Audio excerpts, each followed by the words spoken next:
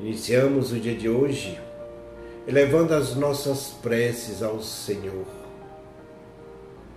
pedindo que Ele derrame sobre cada um de nós a sua graça, a sua misericórdia, o seu perdão. Porque sabemos nós que só Ele tem o poder, só Ele é justo, só Ele é misericordioso.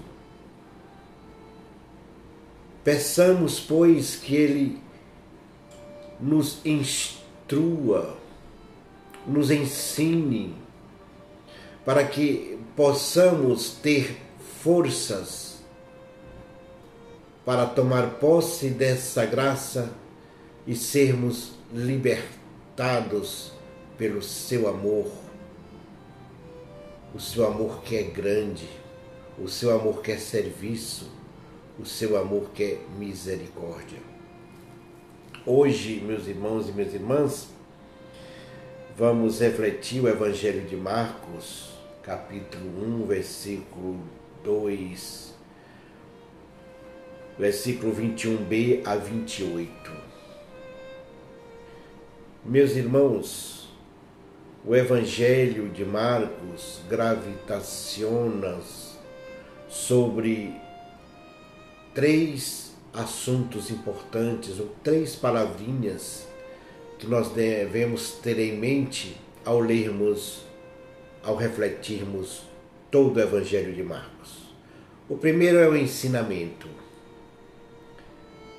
Jesus veio para nos ensinar, para trazer a verdade, como diz João, só a verdade nos libertará. Depois, ele ensina com autoridade. E depois, Marcos coloca em evidência a identidade de Jesus. Aliás, já no início do Evangelho de Marcos, ele já diz assim no capítulo 1, versículo 1: princípio do Evangelho de Cristo, Filho de Deus.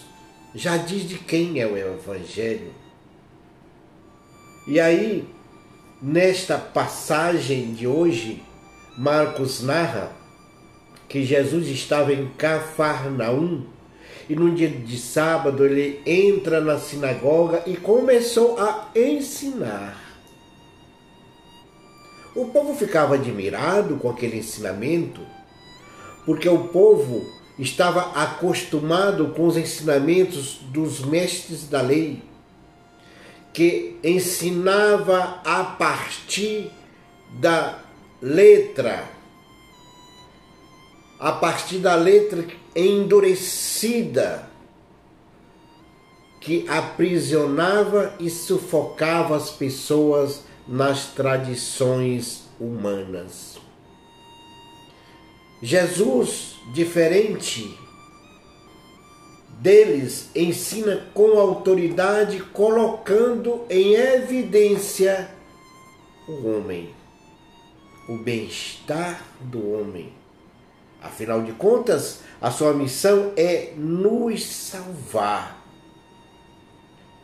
E o povo ficava admirado.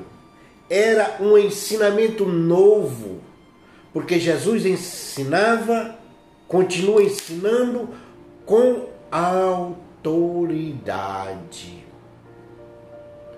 com poder não poder expressados pelos mestres da lei, porque o poder deles escraviza. O poder deles é tirano. O poder de Jesus é serviço. E todo poder que não é serviço é tirania. E é um poder e é uma, um ensinamento que liberta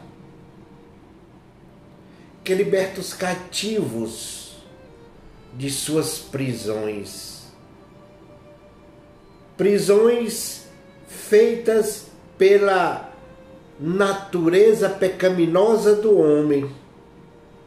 Pois bem, Jesus nos liberta desta natureza e nos eleva ao Senhor, nos tirando da margem do caminho e nos colocando no centro, porque Ele nos guia através desse caminho que nos leva ao Pai, que nos leva à verdadeira felicidade que nós buscamos em tantas coisas, mas só encontramos essa verdadeira felicidade quando nós buscamos no coração de Jesus Cristo que derramou seu sangue para nos salvar. Foi Ele, somente Ele foi pregado na cruz.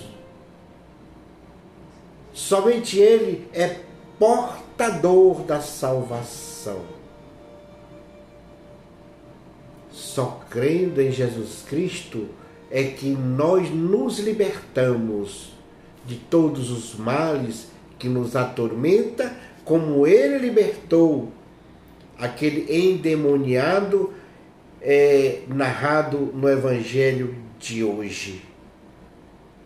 Interessante que o endemoniado exclamou: Tu és o Filho de Deus. Que queres de nós, Jesus de Nazaré? Vieste para nos destruir? Mas Jesus, com sua autoridade, depois de declarar: Cala-te e sai. Deixa que este homem seja livre e caminhe para a glória de Deus. E assim, meus irmãos e minhas irmãs, nós possamos pedir ao Senhor que sejamos livres para que possamos fazer uma comunhão plena com Jesus Cristo, nosso Senhor.